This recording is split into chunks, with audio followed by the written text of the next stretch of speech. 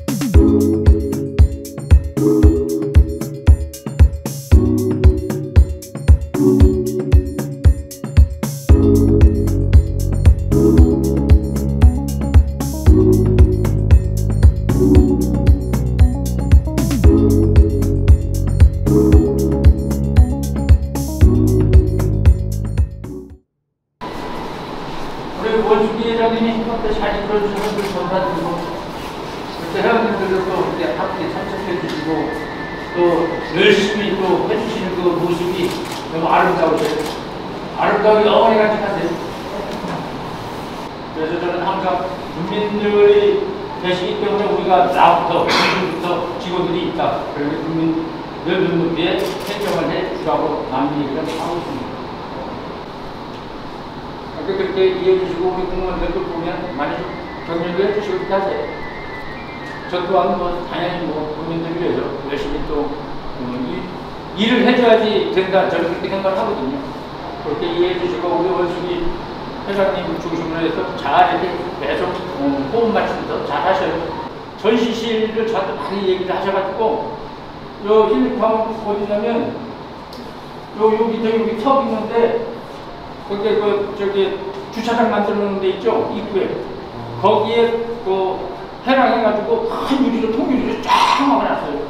그래서 거기다가 전시 엄청 뭐 전시 공간이. 그래서 거기다 이제 전시하고 이렇게 다 할 수 있도록 그렇게 어, 문화예술인들한테 배려를 했으니까 그렇게 하시고 먼저 궁금하시면 원숙이 회장님이랑 같이 한번 가보세요. 가. 아무쪼록 하여튼 이렇게 코로나 시국에도 이렇게 그래도 전 전시를 하고 또 회원님들이 이렇게 그래도 그래도 그나- 그나마 다행이라고 생각을 하고 여기 계신 모- 모두 역장님이나 모든 분들 제주도 많으시고 부럽습니다. 건강하세요.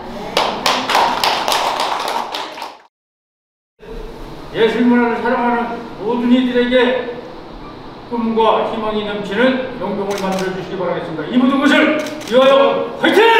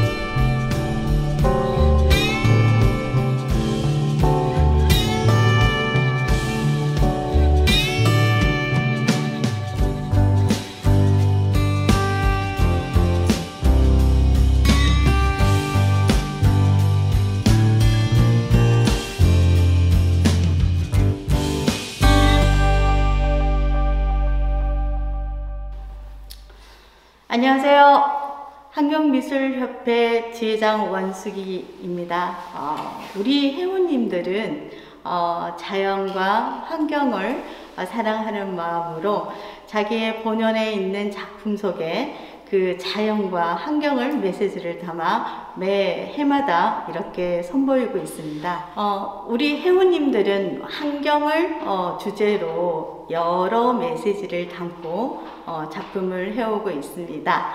어, 이번 2021년 어, 환경미술 해운전도 다양한 재로 그리고 다양한 소재로 어, 여러분들께 환경이라는 아주 좋은 어, 메시지로 전시를 하고 있습니다. 이번 환경미술협회 해운전은 어, 12월 7일부터 12월 11일 토요일까지 전시가 되며 어, 많은 분들의 귀한 발걸음을 기다리고 있습니다. 여러분들께서 우리 환경에 대한 소중함을 이번 전시로 해서 많이 어, 보고 또 느껴보시기를 바라봅니다. 감사합니다.